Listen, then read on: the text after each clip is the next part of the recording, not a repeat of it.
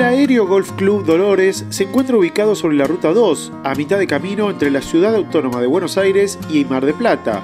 Cuenta con 18 hoyos, es par 72 y tiene su recorrido 5 par 5, 5 par 3 y 8 par 4. El campo de juego se extiende por una superficie plana, por lo tanto no hay complicaciones de relieve, más allá de que algunos bunkers al costado del green pueden generar caídas en los pads y por lo tanto se deben estudiar en cada hoyo.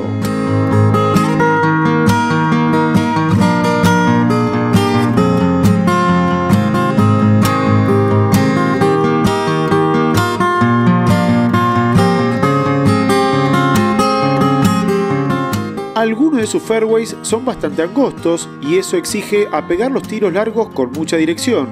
El hoyo más largo es el primer hoyo con 590 yardas para la salida de caballeros y el más corto es el 7, un par 3 de 98 yardas. El Aéreo Golf Club Dolores fue fundado en diciembre de 1989 por el doctor Carlos Soria, un golfista iniciado en Colón, Entre Ríos, junto con Federico Barragán y Rubén Zárate, entre otros, en un terreno cedido por el Aéreo Club y con la colaboración del Golf Club de Chascomús. Una de sus características principales es la vegetación que tiene, que en varios hoyos es abundante, con árboles muy altos y plantas frondosas que castigan a los que desvíen sus tiros.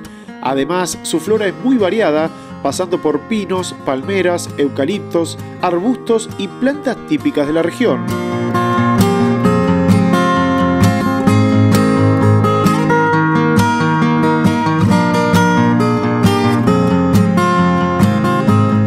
El club cuenta con 8 cabañas para el alojamiento de los visitantes, acondicionadas con calefacción, agua caliente y baño. Además, hay una escuela de golf para mayores e infantiles. El campo de juego se encuentra habilitado por la Asociación Argentina de Golf e integra la Federación Regional de Golf Mar y Sierras.